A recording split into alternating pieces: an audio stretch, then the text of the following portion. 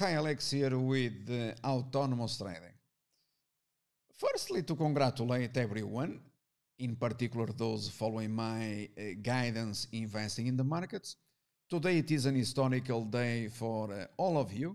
It has been the case since 1989, but today it is a very special one, not only because uh, I'm going to wish everyone happy Thanksgiving, but because I'm going to share here my screen with you, uh, showing you, you know, something that you've never seen in the history of the markets. Okay, I'm referring to my calls that I made available in 2020, naming XL Fleet as uh, the best-selling short opportunity going into 2021.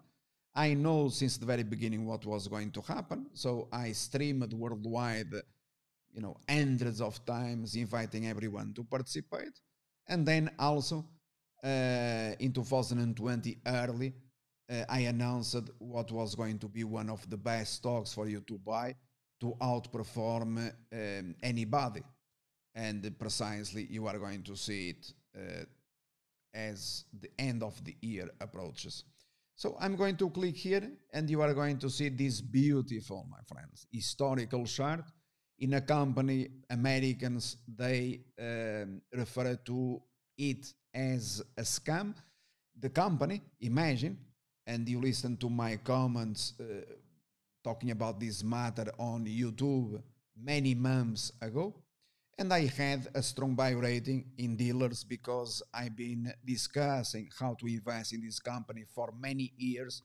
And I know the details about the company. I know absolutely everything as I demonstrated. So today, 400 and almost $20 per share. No surprise eh, whatever because eh, as I uh, been repeating here thousands of times, this is all automated, okay? But in first place, congratulations uh, to Dillard's uh, team for the excellent execution because they have been having uh, outstanding earnings every single quarter and every single quarter ahead of the earnings. I have been here telling you to rate rating a strong buy rating. So uh, we are going to see what did happen to um, XL Fleet since I uh, announced publicly uh, the junk rating. So uh, in first place to my own customers, it was precisely here and then streaming every single day uh, and discussing the, the, the, investment process and all the steps. Okay, today you have this price here below five dollars per share.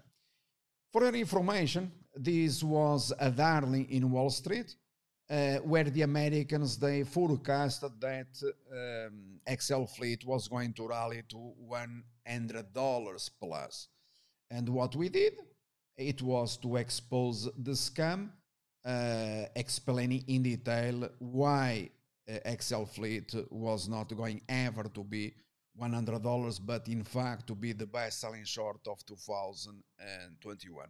So my team wrote many articles discussing this matter for uh, consecutive months, precisely as I did the case of Dillard's strong buy rating here every single uh, week, every single month. Okay. And this is, my friends, historical. This is how you participate. This is how you become a multimillionaire. This is how you can retire then from the markets, you know, because you never had any risk whatsoever. And you can dedicate the rest of your life doing what you really like to do, what you love, okay? Because life is not the markets, right?